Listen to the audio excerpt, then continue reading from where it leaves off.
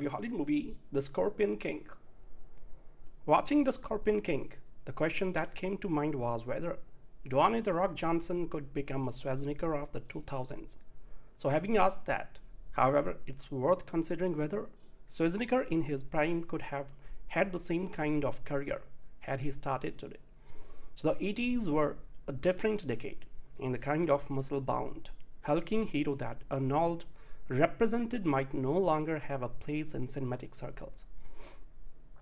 WWF megastar The Rock resembles a young Schwarzenegger in many ways. He has the same kind of physique, the same complete lack of acting ability, the same screen presence, and the same general appeal. Only the accent is missing. And much as Arnold made his feature film splashing Conan the Barbarian, the Rock is using this low-rent Conan as his first starring vehicle. Sorry. The Scorpion King is based on a character introduced in The Mummy Returns. However, anyone expecting a film with the same kind of tongue-in-cheek Indiana Jones style with the disappointed. Aside from the presence of Mathayus the Scorpion King and the fact that some of the action takes places in the desert. There are no connections between this film and either of the mummy outings. As I stated above, this is more in the vein of a Conan or a 13th Warrior than its immediate cinematic cousins. The story is about as lifeless and predictable as one might expect. Mathayus is a mercenary assassin from a clan of cutthroats that they kill for money. So he is hired by an outcast ruler to stop the mighty Memnon, the warrior king whose armies are systematically destroying their opposition. Sorry. The reason for Memnon's seeming invincibility lies in the clairvoyant powers of his sorceress sidekick, Cassandra. Mathayus, Mathayus is supposed to kill her, but when he is unable to, he opts for kidnapping her instead. It turns out that because she dislikes Memnon, she becomes a willing victim. Soon, Mathayus and Cassandra are involved and on the run. So with the help of the great warrior Balthazar and an inept thief, Mathayus decided to infiltrate Memnon's fortress and challenge the great swordsman to one-off one combat a little more originality or energy wouldn't have hurt the Scorpion King. It's fine to see the rock body slam a few foes and to catch a fleeting glimpse of the delightful Kelly Hu's naked flesh. But those are hardly reasons enough to sit through any movie. The sword fights are perfunctory and obligatory. The villain doesn't snarl or foam at the mouth enough, and the comic sidekicks are so cliched that they provoke more yawns than laughs. Even the special effects aren't all that special. Three in particular a fire ant attack, a group of angry cobras and a sandstorm are so obviously computer generated that they come across as cheap and artificial. The creative forces behind the Scorpion King are director Chuck Russell and co-screenwriter Stephen Sommers. Sommers, the writer and director of the two Mummies movies, is given some credit for both the story and screenplay. So Russell, who is no stranger to have worked with bulky actors, does a workman-like job, of course. He is hamstrung by limp scripting a group of actors whose primary previous exposure has been on television or on the wrestling mat. So it is possible to make an engaging action adventure picture of this sort, but The Scorpion King isn't it. The movie isn't god-awful but it's far from inspired. And as I sat through its 90 minute running, running length, I found my mind wandering. So I'm sure that wrestling fans will enjoy the spectacle of seeing this, their hero on the big screen for an extended period of time. But the plainliness of the Scorpion King will leave most average viewers unimpressed. So big men with big muscles aren't what they used to be. Where do you think you are going with my horse? To Gomorrah. Nothing we can say will stop him. Dialogue in The Scorpion King. And a wise move too, because the Scorpion King is set thousands of years before the pyramids. So property values in Gomorrah were a good value for anyone willing to buy and hold. So here is a movie that embarrasses its goofiness like a get out of jail free card. The plot is recycled out of previous recycling jobs. The special effects are bad enough that, that you can grin at them. And the dialogue sounds like the pre-pyramidal desert warriors are channeling a Fox sitcom. The film stars Rock, famous as the WWF wrestling star and on the basis of this movie. He can definitely star in movies like this. So this story takes place so long ago in prehistory that The Rock was a heroine, had not yet turned into the villain of The Mummy Returns. And we can clearly see his face and muscular physique, an improvement over the earlier film, in which his scenes mostly consisted of his face being attached to a scorpion so large it looked like a giant lobster. So how gigantic was the lobster? It would take a buffalo to play the turf. So the story, an evil scorpion king named Memnon uses the talent of a sorceress to map his battle plans and has conquered most of his enemies. So then we meet three Akkadians, professional assassins who have been trained for generations in the deadly art, which indicates their training began even before they were born. So the Akkadian leader Mathayus, played the, by The Rock, is such a powerful man that early in the film he shoots a guy with an arrow. Arrow and the force of the arrow sends the guy crashing through a wall and flying through the air. How The Rock morphs from this character into Mummy Returns. Character is a mystery to me, and I'm sure to him. Along the trail, Mathayus loses some allies and gains others, including a Nubian giant, a scientist who has invented power gunpowder, a clever kid, and a wisecracking horse thief. The scene where they go to kill the Scorpion King is especially impressive, as Mathayus intones, as long as one of us still breathes, the sorcerer will die. See if you can spot the logical loophole. Mathayus and this team, his team invade the desert stronghold of Memnon, where the sorceress who comes from or perhaps in the first in a long line of James Bond heroines, sets eyes on him and wonders why she is bothering with the scrawny king. Special effects send Mathayus in, others catapulting into harems, falling from castle walls and narrowly missing death by fire, scorpion, poisonous cobra, swordplay arrows, explosion and being buried up to the neck in the sand near colonies of fire ants. And that's not even counting the Valley of the Death, which inspires the new Mametian dialogue. So no one goes to the Valley of the Death. That's why it called the Death Valley of the Death. Of all the special effects in the movie, the most impressive are the ones that keep the breast of the many Nabil maidens covered to within one centimeter of the PG-13 guidelines a beautiful woman who looks as if she is trying to remember the good things her agent told her would happen if she took this role. Especially clever long flowing hair, which cascades down over her breast instead of over her head, even when she is descending a waterfall. Sorry. So did I enjoy this movie? Yeah, I did, although not quite enough to recommend it, because it tries too hard to be hyper and not hard enough to be clever. It is what it is, and though and pretty good at it. Those who would dislike the movie are unlikely to attend it, for its target audience looking for a new laughs, martial arts, and stuff that blows up real good. It will be exactly what they expected. It has high energy, the action never stops, the dialogue knows it's funny, and The Rock has the authority to play the role and the fortitude to keep a straight face. Expect him to become a durable action star. Therefore, something about the way he eats those fire ants that lets you know he is thinking. So if I ever escape from this predicament, I'm gonna come back here and fix me up a real mess of fire ants instead of just chewing on a few at a time. A fearsome horde laid waste to the ancient world. So their leader, Memnon, slaughtered all who resisted him. So one survivor, a warrior named Mathayus, would one day become the Scorpion King. So spin-off movies are risky ventures.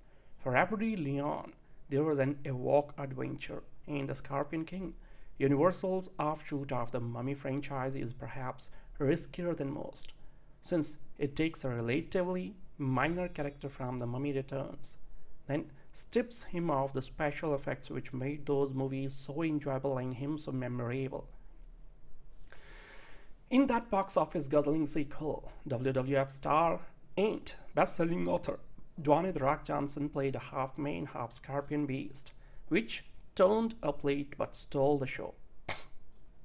now, the future of one of Universal's most successful franchises has been put in the giant midst of a professional wrestler in the uncertain hands of director Chuck Russell, whose last effort was Bless the Child. Although the opening sequence in which Mathayus rescues his brother from what looked like aggrieved extras from Xena Warrior Princess. Sorry. Bodes well, so the rest of the film never matches it. Despite hiking in the shape of Hawaiian Hottie Kelly Hu and an impressive but underused Michael Clarke Duncan. Perhaps this bit stands out because rumor has it Universal brought in Sommers to film something exciting.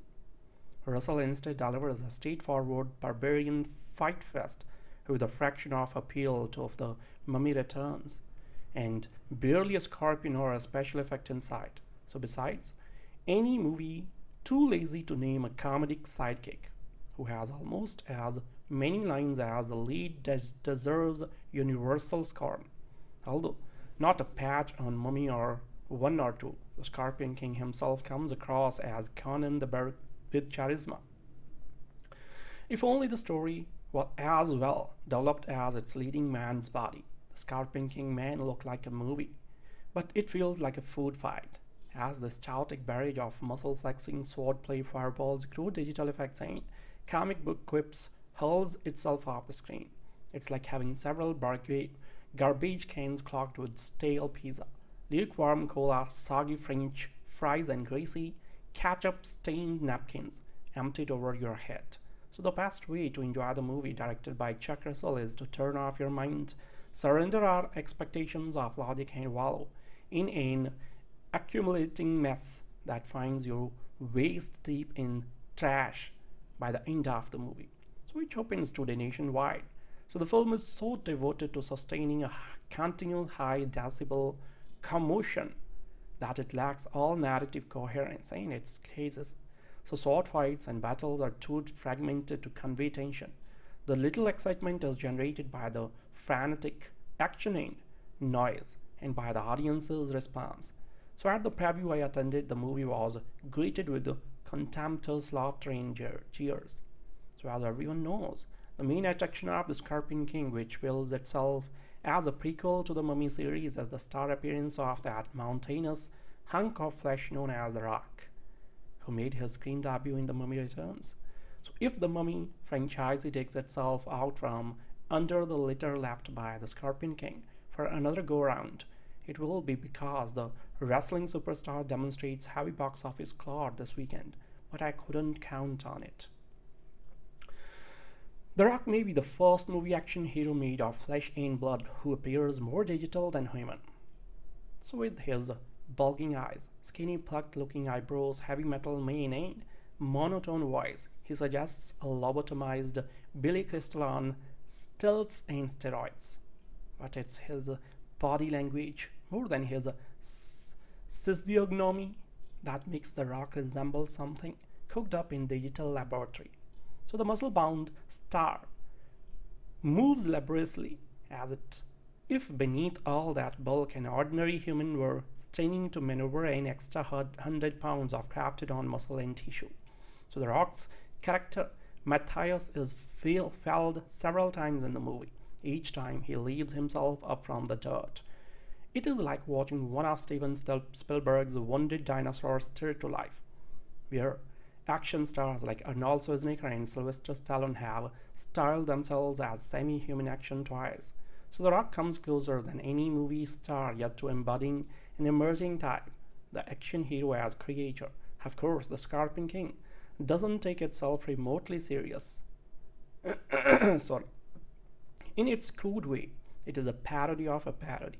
So the two predecessors in the series, you may recall, were themselves good-natured spoofs of vintage movie serials with their fondness for ancient Egyptian mumbo-jumbo and bogus archaeological solemnity.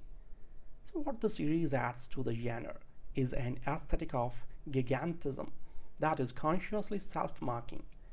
In The Scorpion King, the balance between digital fakery and live action tips so decisively toward the artificial that the entire movie looks like an overblown cartoon. So the special effects appears deliberately tacky. One scene finds Mathayus facing down an invading army of giant red ants, well, while buried up to his neck in the desert. So as they begin crawling over his face, he crunches a couple in his mouth and arrogantly spits them out. But in less than a minute, the ants have been dispersed.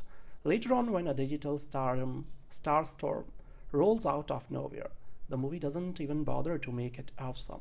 Instead of a dramatic device, it's just a reference flaunted with the attitude that since we know it's fake, why bother to make it look half real or scary?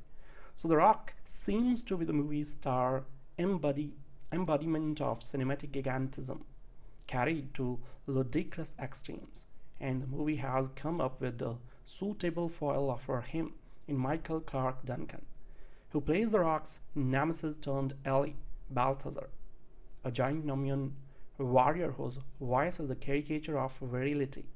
Mr. Duncan matches the rock in oversized ridiculousness, so which is more macho.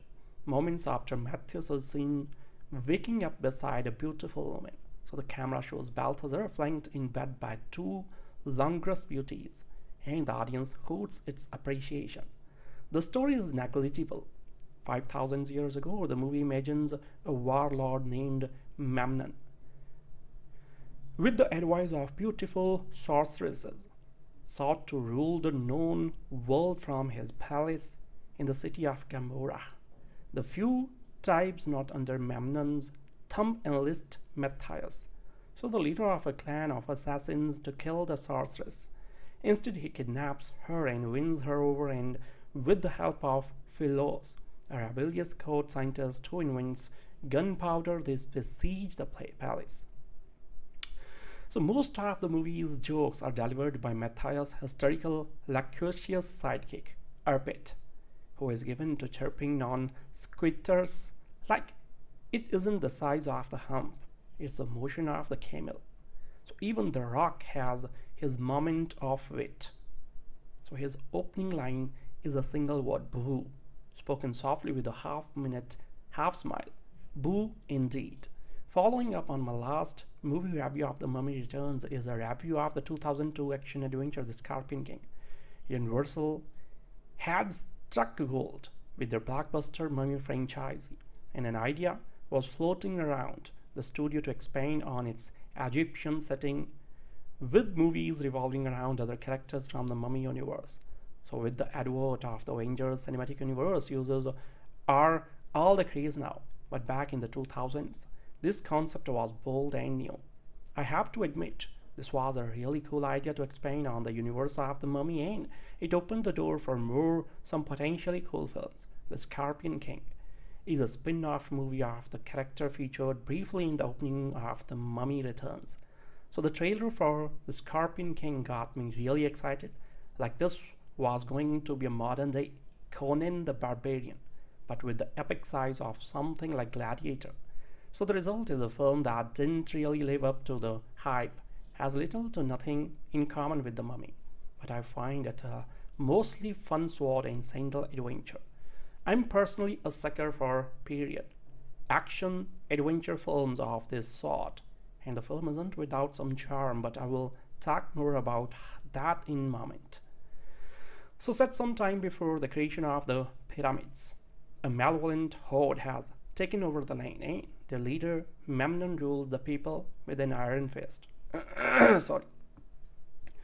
The big is up his sleeve is a mystical sorceress that was fatal, that outcome of every battle. So the last surviving group of rebels decide to send a mighty assassin named Mathayus to slay the enchantress in hopes to give them a winning edge. Unfortunately, Mathayus is betrayed and his brother is executed by Memnon himself. Now, Mathayus is out for vengeance but finds aid through though the very sorceress he intended to kill. So the two set off on a quest to free the people of the kingdom and end the sinister reign of King Memnon.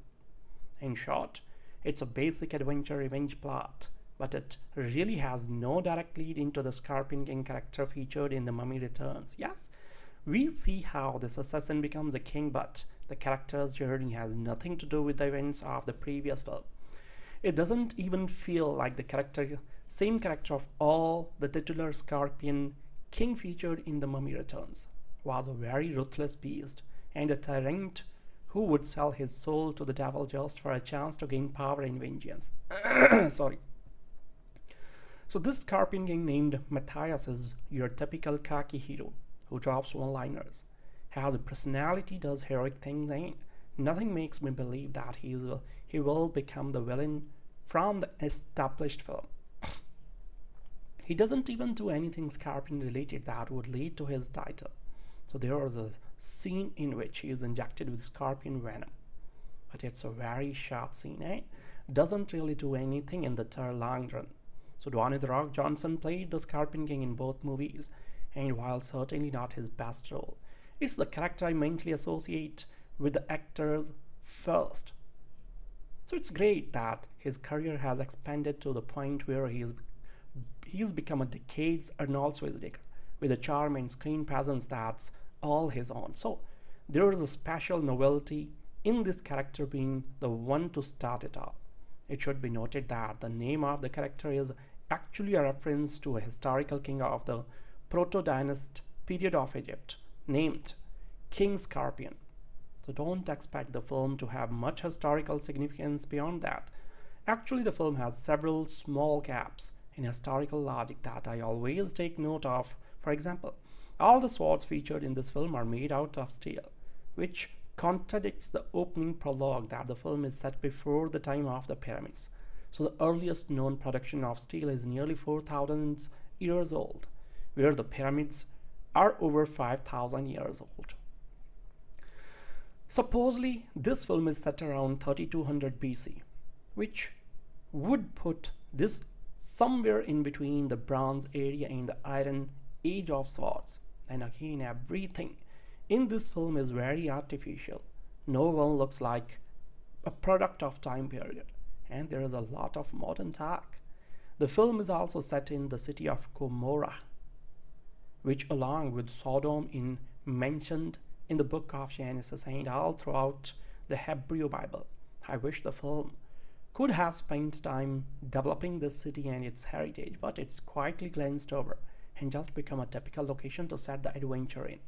Obviously, the main point of the film isn't to educate, but to entertain with a non-stop supply of action scenes. Seriously. Right from the start, this film hits you with action and more action. Personally, I like the variety in which the fights come at us, and each battle lasts just long enough without getting repetitive. So the movie also has a perfect run time. That's under two hours, which is breath of fresh air nowadays. While it's consistently entertaining, there aren't any standout action scenes that really wow me either. That is with the exception of the ending, but I will get to that later. I think the film is very self-aware of what kind of film it is. It's not pretending to be great epic like Braveheart, but it doesn't quite reach the same entertaining heights of the 300 either. I, I will say that I like the overall style and feel of the movie. It's definitely cheesy and mostly over the top, but in just the right way where it becomes a style. If you look at modern day adventure movies of this sort like Clash of the Titans, Prince of Persia, Saint of the Time, Immortals and Gods of Egypt, they're all so overly stylized pretentiously artistic, and are populated with over-the-top CGI monsters. The Scorpion King, by comparison, is actually quite tame, yet over-the-top in just the right amounts. I like that all the actions is in front of the camera with close quarter combat and love when both the set and props are integrated into the fight choreography. Sorry. The special effects are very used very sparingly for little things like a swarm of fire ants and a sandstorm. So some of the comedy is too modern for its own good, but there are some select moments which are legitimately funny. So the stand out, stand out funny moment involves a kid at, at a wishing well. I had better leave it at that. So I also like that the magical elements are toned down and are only associated with the sorcerer, sorceress. The sorceress has the power to see visions of the future and these leads to some airy atmospheric scenes that are shot beautifully. So aside from that, it's good old-fashioned swordplay and it's so welcome in this, this day and age. Sorry. Now, let's talk about the absolute best thing in the film and that's Kelly Hu as the sorceress. Holy cow. Back in the early 2000s, Kelly Hu was like goddess among mortal actors. Well, okay, that's just how I viewed her. All joking and insanely good looks aside, that is actually a fairly, fairly strong female lead. To sum things up, The Scorpion King is a cheesy, silly, by the numbers action adventure and personally I still enjoy watching it to this day, at least once in a while. It's arguably my second favorite film in the Mummy franchise and it somehow works as an amusing little product of the time. So there are definitely better sword and sandal adventure films out there, but for what it this is, I think Scorpion King is perfectly passable. I honestly think it's aged better than even Conan the Barbarian from the 80s, but that's just me talking. I had say the film is worth checking out for some of the actions, the overall cheese factors, and uh, of course for Kelly Hu. Watching The Scorpion King, the question that came to mind was whether Dwayne The Rock Johnson could become a Schwarzenegger of the 2000s. So having asked that, however, it's worth considering whether Schwarzenegger in his prime could have had the same kind of career had he started today. So the 80s were a different decade in the kind of muscle-bound, hulking hero that Arnold represented might no longer have a place in cinematic circles. WWF megastar The Rock resembles a young Schwarzenegger in many ways. He has the same kind of physique, the same complete lack of acting ability, the same screen presence and the same general appeal. Only the accent is missing. And much as Arnold made his feature film splashing Conan the Barbarian, The Rock is using this low-end Conan as his first starring vehicle. Sorry. The Scorpion King is based on a character introduced in The Mummy Returns. However, anyone expecting a film with the same kind of tongue-in-cheek Indiana Jones ish style with the disappointed. Aside from the presence of Mathayus the Scorpion King and the fact that some of the action takes places in the desert. There are no connections between this film and either of the mummy outings. As I stated above, this is more in the vein of a Conan or a 13th Warrior than its immediate cinematic cousins. The story is about as lifeless and predictable as one might expect. Mathayus is a mercenary assassin from a clan of cutthroats that they kill for money.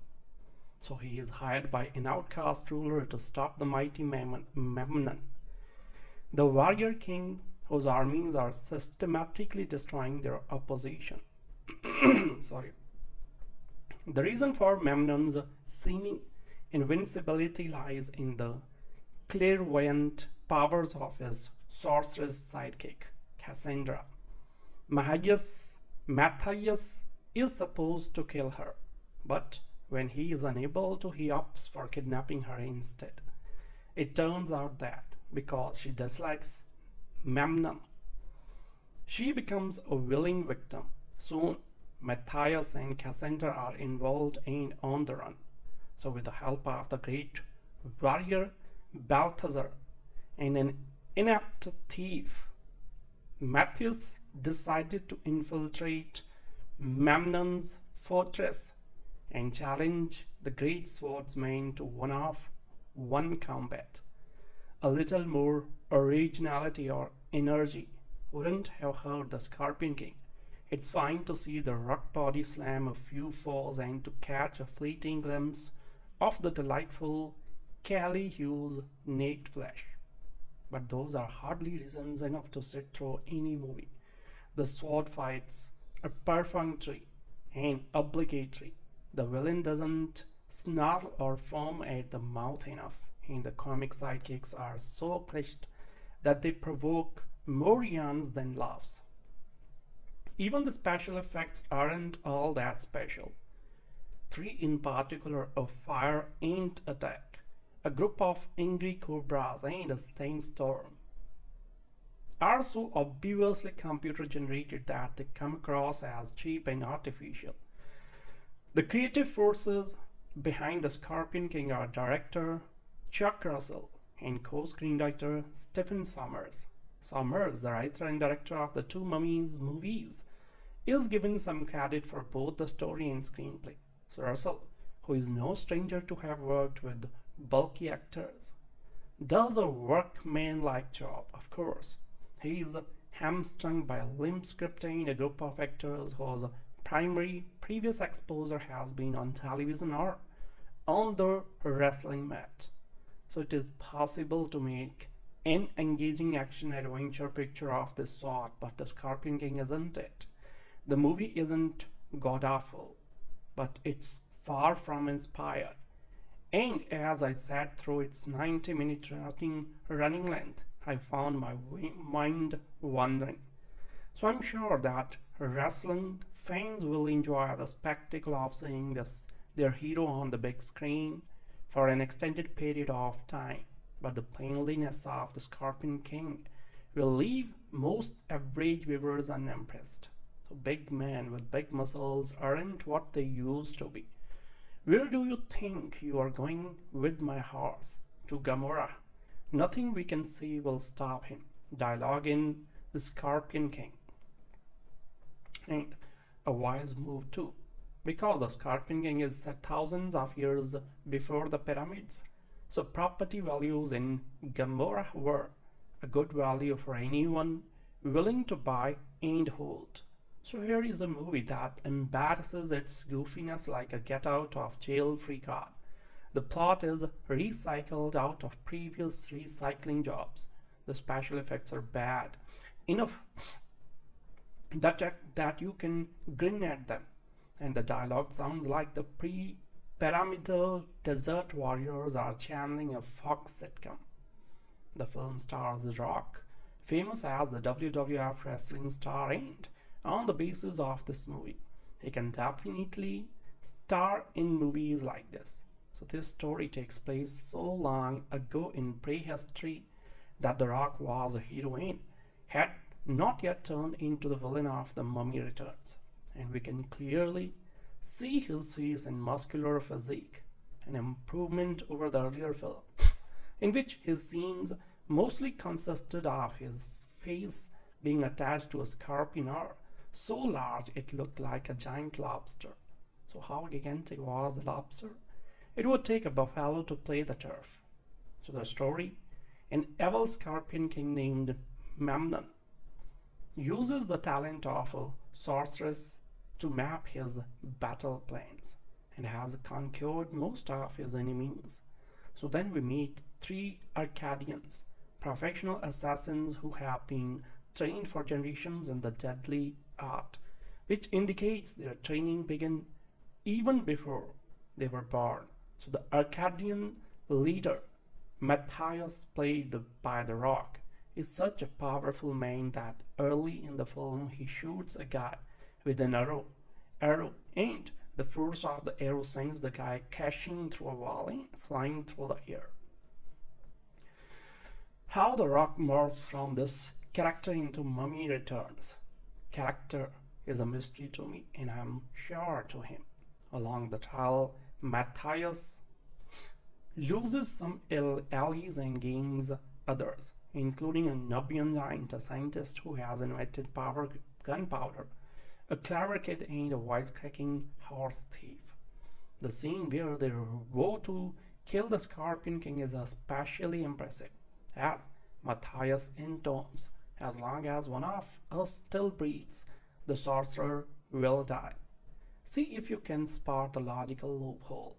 Mathayus and this team, his team, invade the desert stronghold of Memnon, where the Scourges who comes from, or perhaps in the first in a long line of James Bond heroines, sets eyes on him and wonders why she is bothering with the scrawny king.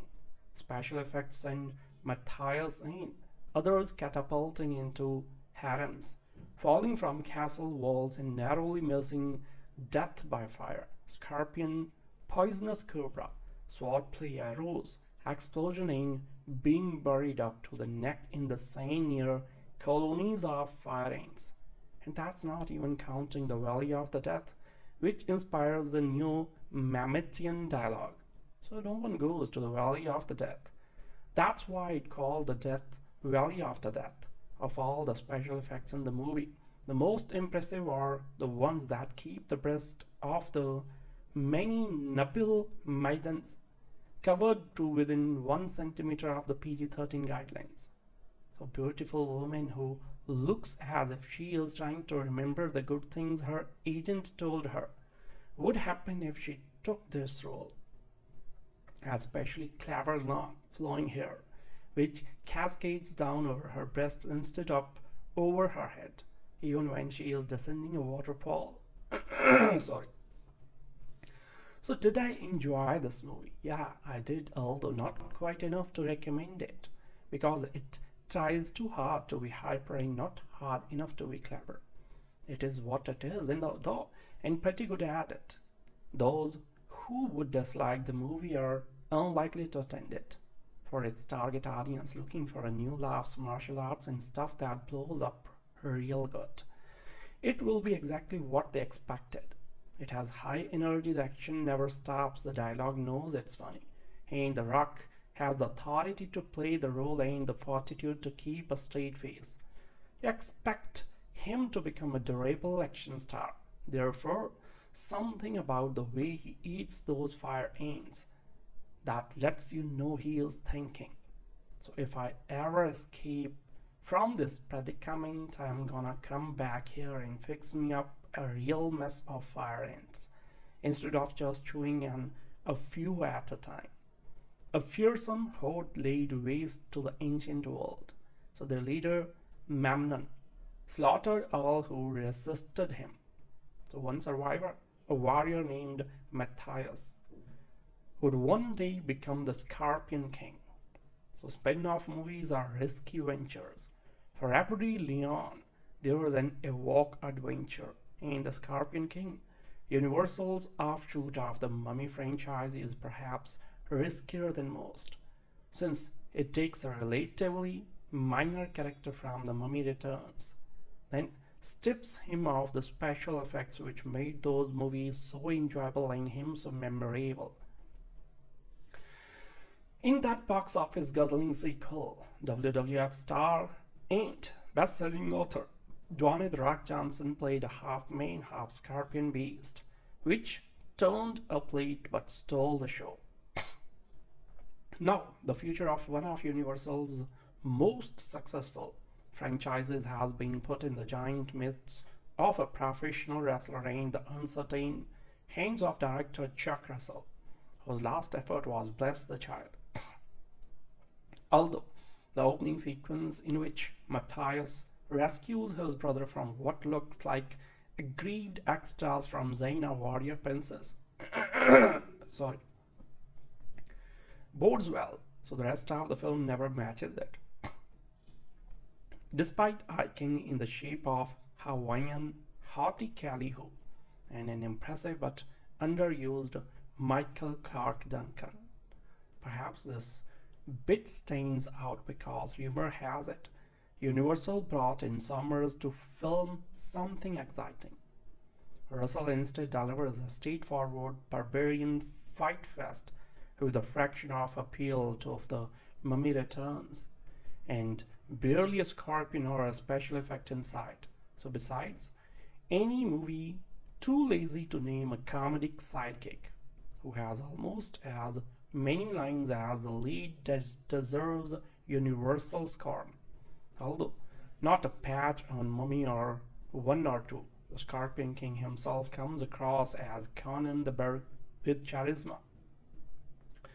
If only the story were as well developed as its leading man's body, the Scorpion King may look like a movie, but it feels like a food fight as the chaotic barrage of muscle flexing, swordplay, fireballs, crude digital effects, and comic book quips hurls itself off the screen. It's like having several garbage cans clogged with stale pizza, lukewarm cola, soggy French fries, and greasy ketchup stained napkins emptied over your head. So the best way to enjoy the movie directed by Chuck Russell is to turn off your mind surrender our expectations of logic and wallow in an accumulating mess that finds you waist deep in trash by the end of the movie. So which opens today nationwide. So the film is so devoted to sustaining a continual high decibel commotion that it lacks all narrative coherence in its cases. So sword fights and battles are too fragmented to convey tension. The little excitement is generated by the frantic actioning noise and by the audience's response. So at the preview I attended, the movie was greeted with the contemptuous laughter and cheers. So as everyone knows, the main attraction of The Scorpion King, which bills itself as a prequel to the Mummy series as the star appearance of that mountainous hunk of flesh known as the Rock who made his screen debut in The Mummy Returns.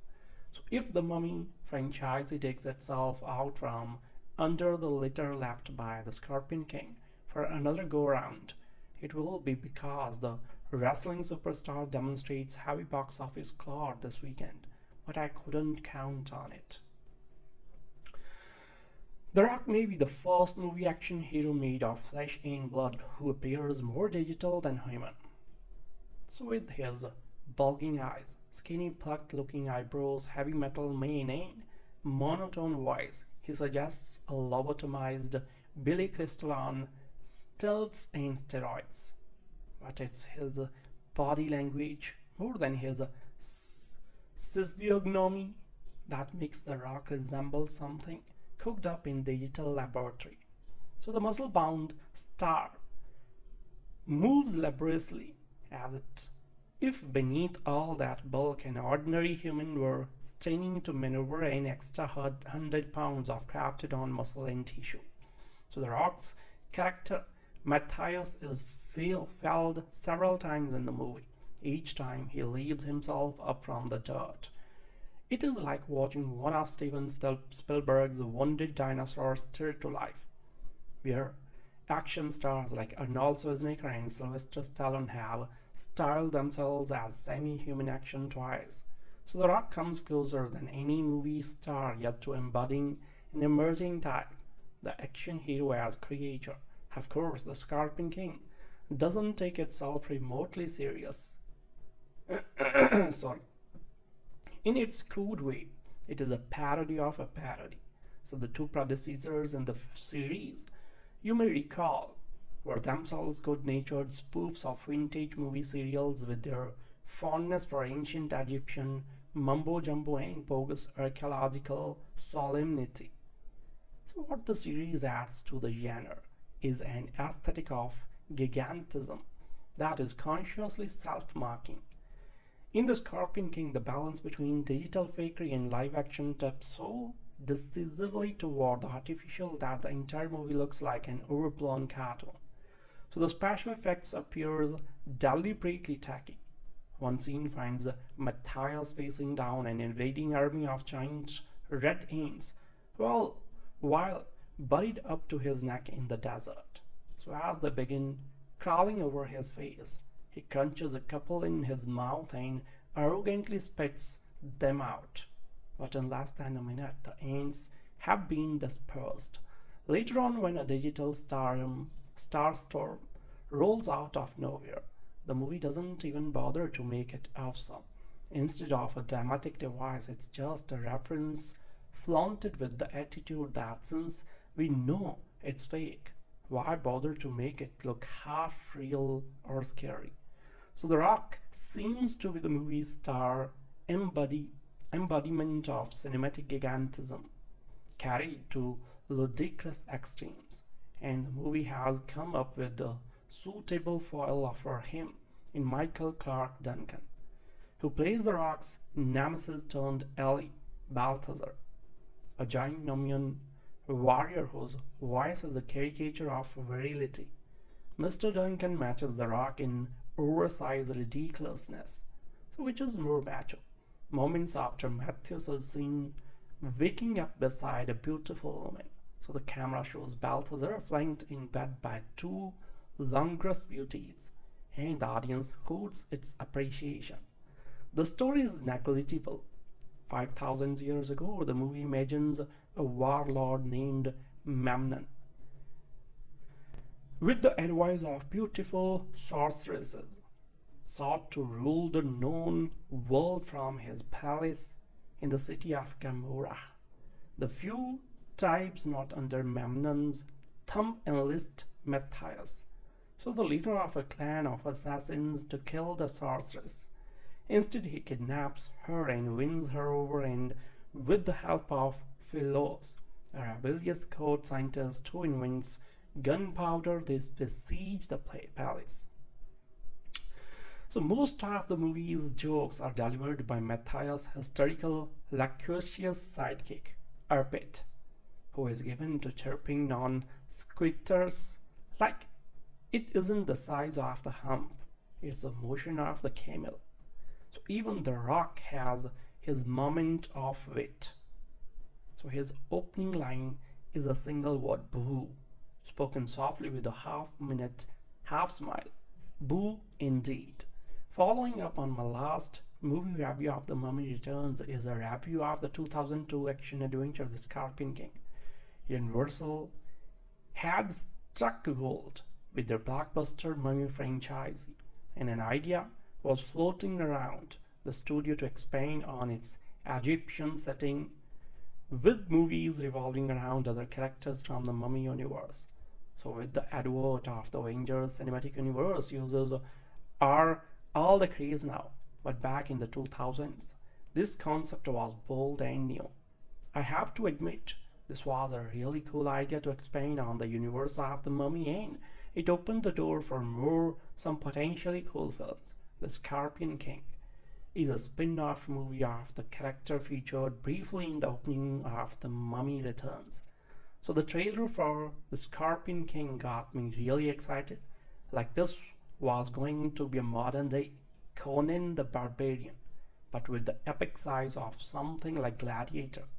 So the result is a film that didn't really live up to the hype, has little to nothing in common with The Mummy, but I find it a mostly fun sword and sandal adventure. I'm personally a sucker for period, action adventure films of this sort.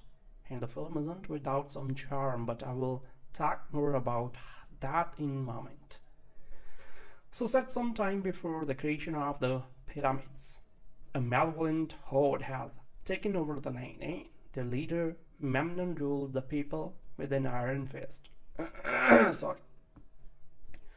The big is up his sleeve is a mystical sorceress that was fatal, that outcome of every battle. So the last surviving group of rebels decide to send a mighty assassin named Mathayus to slay the enchantress in hopes to give them a winning edge. Unfortunately, Mathayus is betrayed and his brother is executed by Mem Memnon himself. Now, Mathayus is out for vengeance but finds aid through though the very sorceress he intended to kill.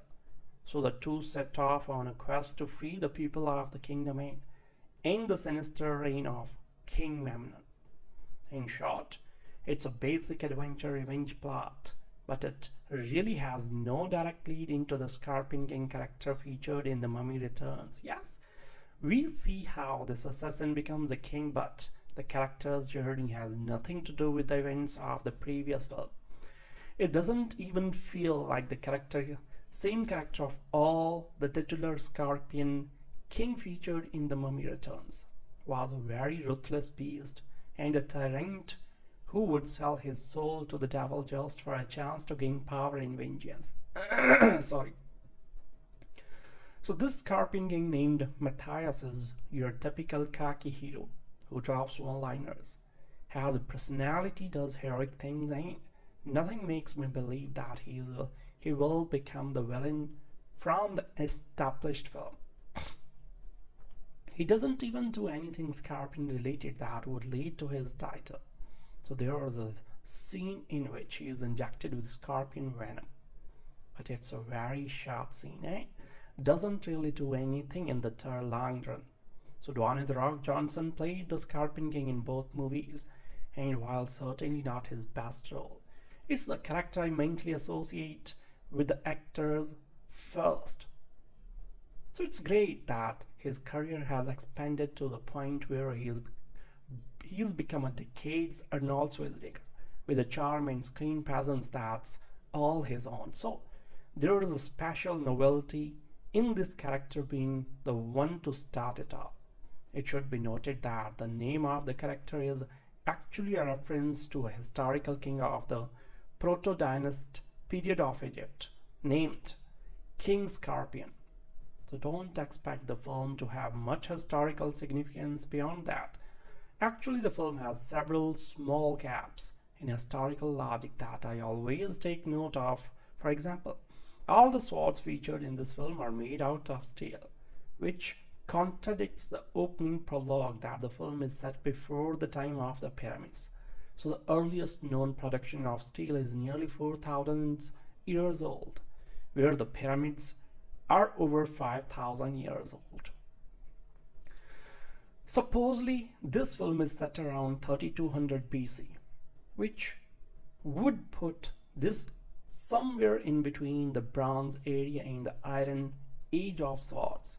And again, everything in this film is very artificial. No one looks like a product of time period, and there is a lot of modern talk.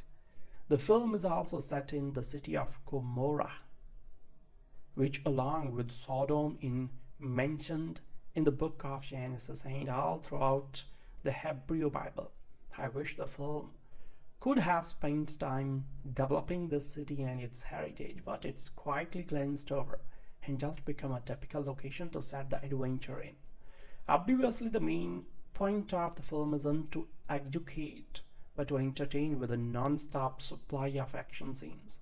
Seriously, right from the start this film hits you with action and more action personally i like the variety in which the fights come at us and each battle lasts just long enough without getting repetitive.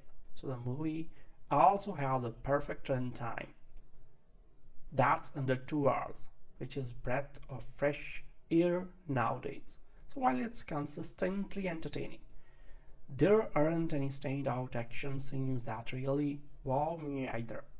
That is with the exception of the ending, but I will get to that later. I think the film is very self-aware of what kind of film it is. It's not pretending to be great epic like Braveheart, but it doesn't quite reach the same entertaining heights of the 300 either. I, I will say that I like the overall style and feel of the movie. It's definitely cheesy and mostly over the top, but in just the right way where it becomes a style. If you look at modern day adventure movies of this sort like Clash of the Titans, Prince of Persia, Saint of the Time, Immortals and Gods of Egypt, they're all so overly stylized, pretentiously artistic, and are populated with over-the-top CGI monsters. The Scorpion King, by comparison, is actually quite tame, yet over-the-top in just the right amounts. I like that all the actions is in front of the camera with close quarter combat and love when both the set and props are integrated into the fight choreography. Sorry. The special effects are very used very sparingly for little things like a swarm of fire ants and a sandstorm. So some of the comedy is too modern for its own good, there are some select moments which are legitimately funny. So the stand out standout funny moment involves a kid at, at a wishing well. I had better leave it at that. So I also like that the magical elements are toned down and are only associated with the sorcerer, sorceress. The sorceress has the power to see visions of the future and these leads to some airy atmospheric scenes that are shot beautifully. So aside from that, it's good old-fashioned sword play, and it's so welcome in that this day and age. Sorry.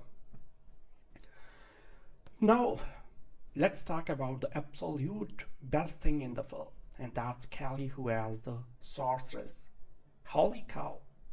Back in the early 2000s, Kelly Hu was like a goddess among mortal actors. Well, okay, that's just how I viewed her.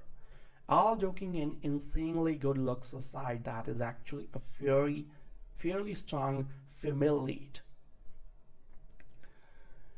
To sum things up, The Scorpion King is a cheesy, silly, by the numbers action adventure and personally I still enjoy watching it to this day, at least once in a while. It's arguably my second favorite film in the Mummy franchise and it somehow works as an amusing little product of the time. So there are definitely better sword and sandal adventure films out there. But for what it this is, I think Scorpion King is perfectly passable. I honestly think it's aged better than even Conan the Barbarian from the 80s. But that's just me talking. I had say the film is worth checking out for some of the actions, the overall cheese factors, and of course for Kelly Hu. Watching The Scorpion King, the question that came to mind was whether Dwayne The Rock Johnson could become a Schwarzenegger of the 2000s. So having asked that, however, it's worth considering whether Schwarzenegger in his prime could have had the same kind of career had he started today. So the 80s were a different decade in the kind of muscle-bound, hulking hero that Arnold represented might no longer have a place in cinematic circles. WWF megastar The Rock resembles a young Schwarzenegger in many ways, he has the same kind of physique, the same complete lack of acting ability, the same screen presence, and the same general appeal. Only the accent is missing.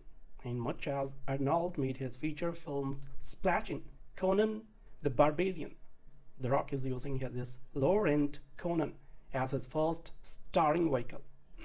Sorry. The Scorpion King is based on a character introduced in The Mummy Returns. However, anyone expecting a film with the same kind of tongue-in-cheek Indiana Jones-ish style with the disappointment, disappointed. Aside from the presence of Mathayus the Scorpion King and the fact that some of the action takes places in the desert, there are no connections between this film and either of the mummy outings. As I stated above, this is more in the vein of Conan or a 13th Warrior than its immediate cinematic cousins. The story is about as lifeless and predictable as one might expect. Mathayus is a mercenary assassin from a clan of cutthroats that they kill for money. So he is hired by an outcast ruler to stop the mighty Memnon, the warrior king whose armies are systematically destroying their opposition. Sorry. The reason for Memnon's seeming invincibility lies in the clairvoyant powers of his sorceress sidekick, Cassandra. Mathayus, Mathayus is supposed to kill her, but when he is unable to, he opts for kidnapping her instead. It turns out that because she dislikes Memnon, she becomes a willing victim. Soon, Mathayus and Cassandra are involved in on the run. So with the help of the great warrior Balthazar and an inept thief, Mathayus decided to infiltrate Memnon's fortress and challenge the great swordsman to one-off one combat. a little more originality or energy wouldn't have hurt the Scorpion King. It's fine to see the rock body slam a few falls and to catch a fleeting glimpse of the delightful Kelly Hu's naked flesh. But those are hardly reasons enough to sit through any movie. The sword fights are perfunctory and obligatory. The villain doesn't snarl or foam at the mouth enough, and the comic sidekicks are so cliched that they provoke more yawns than laughs. Even the special effects aren't all that special. Three in particular a fire ant attack, a group of angry cobras, and a storm are so obviously computer generated that they come across as cheap and artificial. The creative forces behind the Scorpion King are director Chuck Russell and co-screenwriter Stephen Sommers. Sommers, the writer and director of the two Mummies movies, is given some credit for both the story and screenplay. So Russell, who is no stranger to have worked with bulky actors, does a workman-like job, of course. He is hamstrung by limp scripting a group of actors whose primary previous exposure has been on television or on the wrestling mat. So it is possible to make an engaging action adventure picture of this sort, but The Scorpion King isn't it. The movie isn't god awful, but it's far from inspired. And as I sat through its 90 minute running, length, I found my mind wandering. So I'm sure that wrestling fans will enjoy the spectacle of seeing this, their hero on the big screen for an extended period of time, but the plainness of the Scorpion King will leave most average viewers unimpressed. Big men with big muscles aren't what they used to be. Where do you think you are going with my horse? To Gomorrah.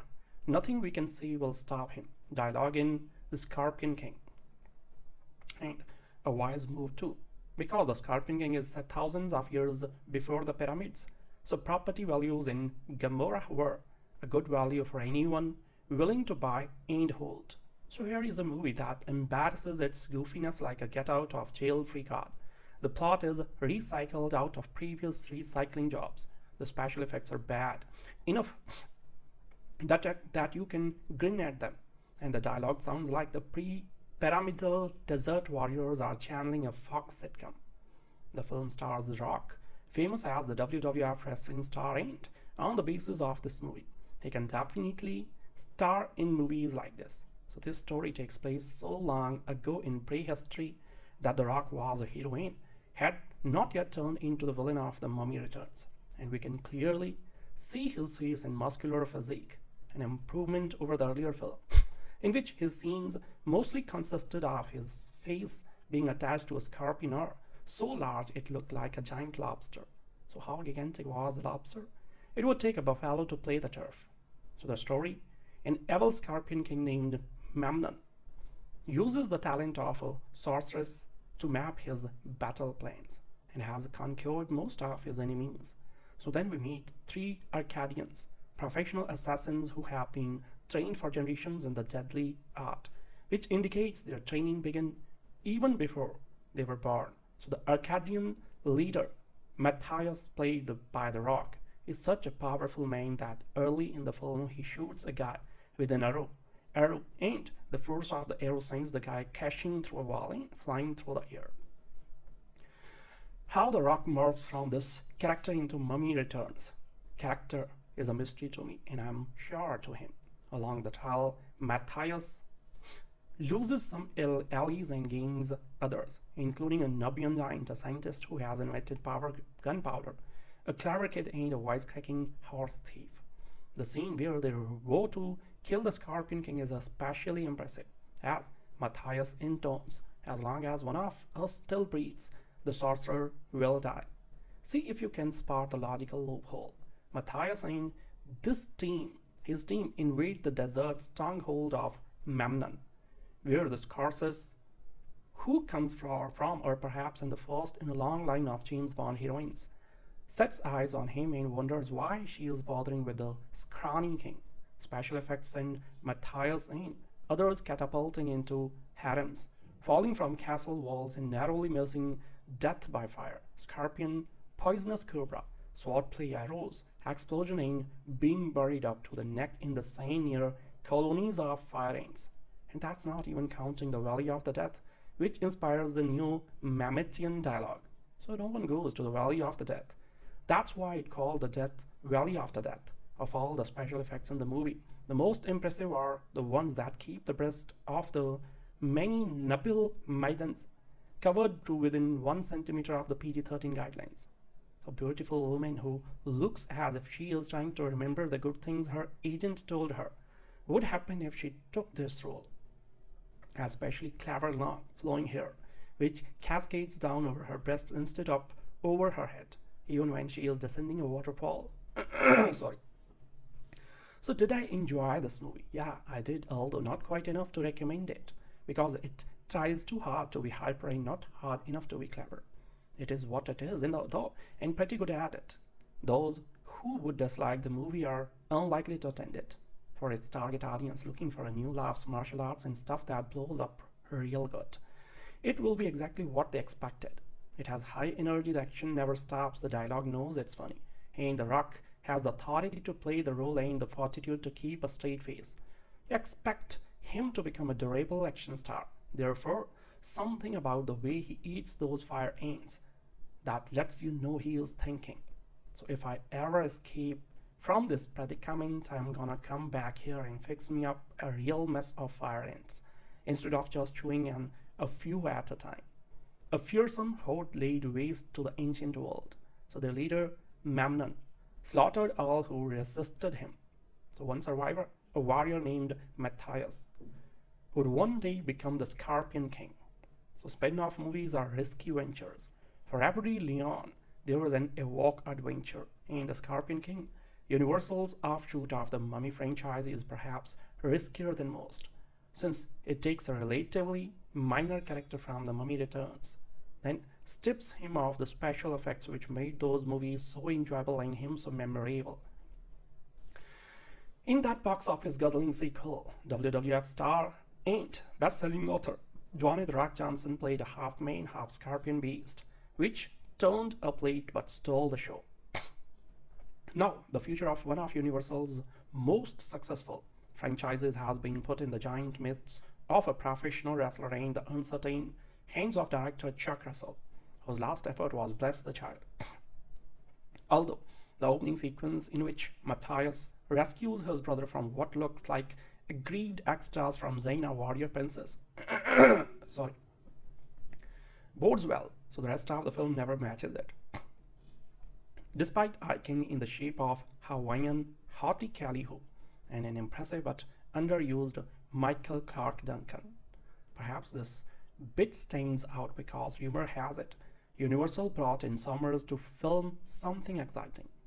Russell instead delivers a straightforward barbarian fight fest with a fraction of appeal to of the Mummy Returns, and barely a scorpion or a special effect inside. So besides, any movie too lazy to name a comedic sidekick, who has almost as many lines as the lead that deserves universal scorn. Although not a patch on Mummy or one or two, the Scorpion King himself comes across as Conan the Barbarian with charisma. If only the story were as well developed as its leading man's body. The Scorpion King Man look like a movie, but it feels like a food fight, as this chaotic barrage of muscle-flexing, swordplay fireballs, crude digital effects, and comic book quips hurls itself off the screen. It's like having several garbage cans clogged with stale pizza, lukewarm cola, soggy French fries, and greasy, ketchup-stained napkins emptied over your head. So the best way to enjoy the movie directed by Chuck Russell is to turn off your mind surrender our expectations of logic and wallow in an accumulating mess that finds you waist deep in trash by the end of the movie. So which opens today nationwide. So the film is so devoted to sustaining a continual high decibel commotion that it lacks all narrative coherence in its cases. So sword fights and battles are too fragmented to convey tension. The little excitement is generated by the frantic action and noise and by the audience's response. So at the preview I attended, the movie was greeted with contemptuous laughter and cheers. So as everyone knows, the main attraction of The Scorpion King, which bills itself as a prequel to the Mummy series is the star appearance of that mountainous hunk of flesh known as The Rock, who made his screen debut in The Mummy Returns. So if the Mummy franchise takes itself out from under the litter left by the Scorpion King for another go round, it will be because the wrestling superstar demonstrates heavy box office clout this weekend, but I couldn't count on it. The Rock may be the first movie action hero made of flesh and blood who appears more digital than human. So with his bulging eyes, skinny plucked looking eyebrows, heavy metal mane and monotone voice, he suggests a lobotomized Billy Crystal on stilts and steroids. But it's his body language more than his physiognomy that makes The Rock resemble something cooked up in digital laboratory. So the muscle-bound star moves laboriously as it if beneath all that bulk an ordinary human were straining to maneuver an extra 100 pounds of crafted on muscle and tissue. So the Rock's character Mathayus is felled several times in the movie. Each time he leaves himself up from the dirt. It is like watching one of Steven Spielberg's wounded dinosaurs stir to life, where action stars like Arnold Schwarzenegger and Sylvester Stallone have styled themselves as semi-human action toys.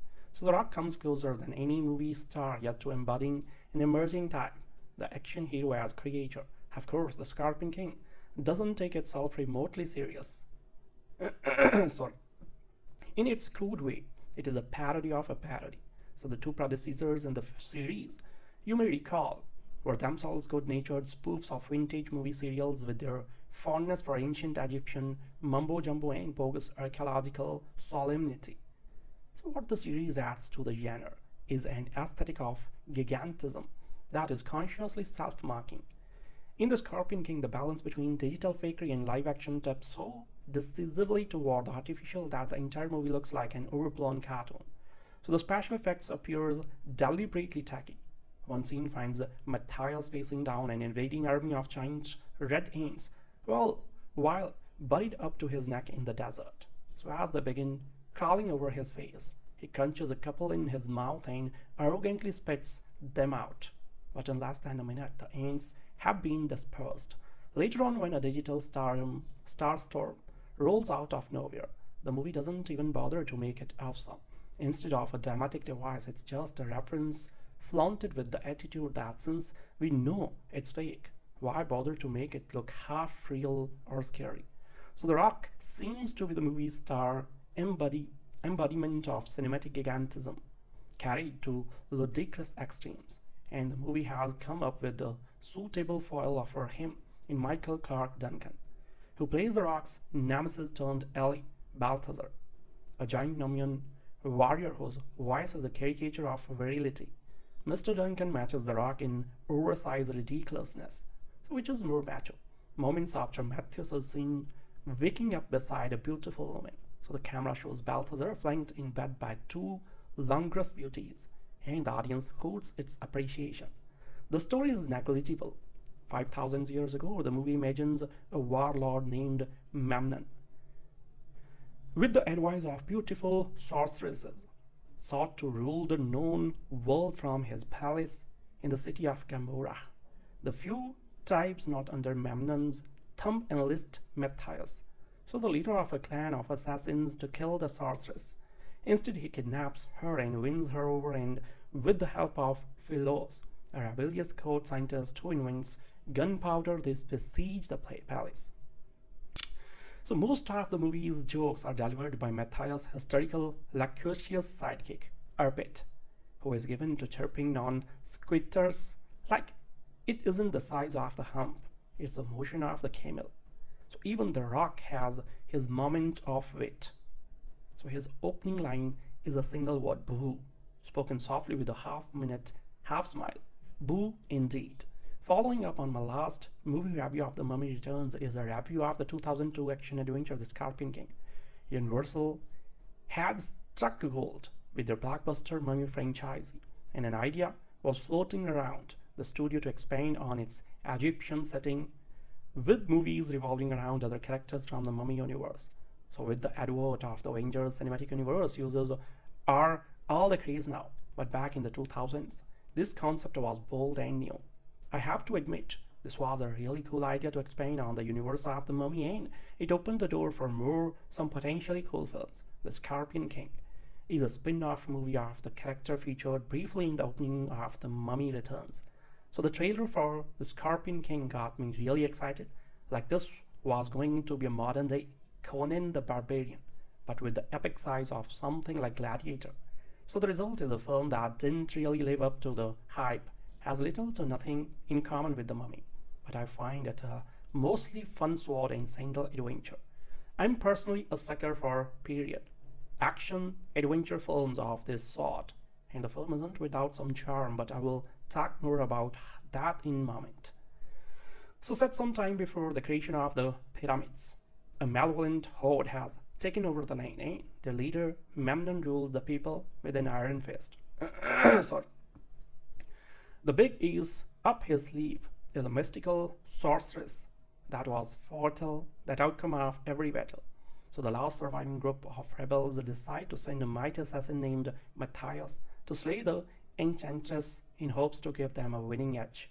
Unfortunately, Mathayus is betrayed and his brother is executed by Memnon himself. Now, Mathayus is out for vengeance but finds aid through, though the very sorceress he intended to kill. So the two set off on a quest to free the people of the kingdom end the sinister reign of King Memnon. In short, it's a basic adventure revenge plot, but it really has no direct lead into the Scorpion King character featured in The Mummy Returns. Yes, we see how this assassin becomes a king, but the character's journey has nothing to do with the events of the previous film. It doesn't even feel like the character, same character of all the titular Scorpion King featured in The Mummy Returns was a very ruthless beast and a tyrant who would sell his soul to the devil just for a chance to gain power and vengeance. Sorry. So this Scorpion King named Mathayus is your typical khaki hero who drops one-liners, has a personality, does heroic things, and nothing makes me believe that he will, he will become the villain from the established film. he doesn't even do anything Scorpion related that would lead to his title. So there is a scene in which he is injected with Scorpion venom. But it's a very short scene, eh? Doesn't really do anything in the third long run. So Dwayne The Rock Johnson played the Scorpion King in both movies, and while certainly not his best role, it's the character I mentally associate with the actors first. So it's great that his career has expanded to the point where he's he's become a decades Arnold Schwarzenegger with a charm and screen presence that's all his own. So there is a special novelty in this character being the one to start it all. It should be noted that the name of the character is actually a reference to a historical king of the Proto-Dynast period of Egypt named King Scorpion. So don't expect the film to have much historical significance beyond that. Actually, the film has several small gaps in historical logic that I always take note of. For example, all the swords featured in this film are made out of steel, which contradicts the opening prologue that the film is set before the time of the pyramids. So the earliest known production of steel is nearly 4,000 years old where the pyramids are over 5,000 years old. Supposedly, this film is set around 3200 BC, which would put this somewhere in between the Bronze area and the Iron Age of Swords. And again, everything in this film is very artificial. No one looks like a product of time period, and there is a lot of modern tech. The film is also set in the city of Gomorrah, which along with Sodom in mentioned in the book of Genesis and all throughout the Hebrew Bible. I wish the film could have spent time developing this city and its heritage, but it's quietly glanced over and just become a typical location to set the adventure in. Obviously, the main point of the film isn't to educate, but to entertain with a non-stop supply of action scenes. Seriously. Right from the start, this film hits you with action and more action. Personally, I like the variety in which the fights come at us and each battle lasts just long enough without getting repetitive. So the movie also has a perfect run time. That's under two hours, which is breath of fresh air nowadays. So while it's consistently entertaining, there aren't any standout action scenes that really wow me either. That is with the exception of the ending, but I will get to that later. I think the film is very self-aware of what kind of film it is. It's not pretending to be great epic like Braveheart, but it doesn't quite reach the same entertaining heights of the 300 either. I, I will say that I like the overall style and feel of the movie. It's definitely cheesy and mostly over the top, but in just the right way where it becomes a style. If you look at modern day adventure movies of this sort like Clash of the Titans, Prince of Persia, Saint of the Time, Immortals and Gods of Egypt, they're all so overly stylized, pretentiously artistic, and are populated with over-the-top CGI monsters. The Scorpion King by comparison is actually quite tame, yet over-the-top in just the right amounts. I like that all the actions is in front of the camera with close quarter combat and love when both the set and props are integrated into the fight choreography. Sorry. The special effects are very used very sparingly for little things like a worm of fire ants and a sandstorm. So some of the comedy is too modern for its own good, but there are some select moments which are legitimately funny. So the stand out, stand out funny moment involves a kid at, at a wishing well. I had better leave it at that. So I also like that the magical elements are toned down and are only associated with the sorcerer, sorceress. The sorceress has the power to see visions of the future and these leads to some airy atmospheric scenes that are shot beautifully. So aside from that, it's good old-fashioned swordplay and it's so welcome in this, this day and age. Sorry. Now, let's talk about the absolute best thing in the film and that's Kelly Hu as the sorceress. Holy cow. Back in the early 2000s, Kelly Hu was like a goddess among mortal actors. Well, okay, that's just how I viewed her. All joking and insanely good looks aside, that is actually a very, fairly strong female lead. To sum things up, The Scorpion King is a cheesy, silly, by the numbers action adventure and personally I still enjoy watching it to this day, at least once in a while. It's arguably my second favorite film in the Mummy franchise and it somehow works as an amusing little product of the time. So there are definitely better sword and sandal adventure films out there, but for what it this is, I think Scorpion King is perfectly passable. I honestly think it's aged better than even Conan the Barbarian from the 80s, but that's just me talking. I had say the film is worth checking out for some of the actions, the overall cheese factors, and uh, of course for Kelly Hu.